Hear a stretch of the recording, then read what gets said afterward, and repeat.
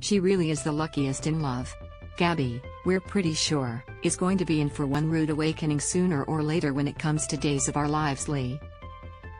About the only uncertainty in their relationship is whether Gabi will learn that he has been using and manipulating her before or after they're married. Though who knows, now that Stefan took his stock options back, Li might decide his love mark isn't worth the effort and move on to another plan. More, NBC's taken a massive hit after losing its soap but that's a problem for another day. On this one, we're celebrating a happy occasion in Camila Banus' real-life relationship, which is on far healthier ground than Gabi's ever managed. Of course, the actress doesn't have all that scheming and power grabbing to worry about in her actual marriage, and there are no in laws or semi mad doctors brainwashing hubby Marlon Aquino, so we figure that helps too.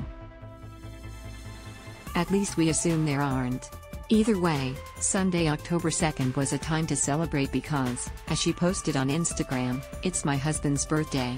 The kaleidoscope of photos in the video showed them out and about, living life in everything from fancy dress, to casual and everything in between.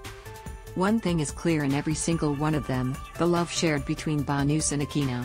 Happy birthday, my love, Marlon Aquino, she exclaimed.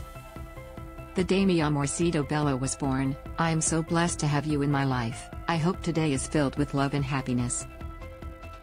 Wish I could be next to you to celebrate you alo Maximo, Te amo Marlon Aquino con todo mi corazón, she finished, declaring she loved him with all her heart and signing it, to esposa, your wife.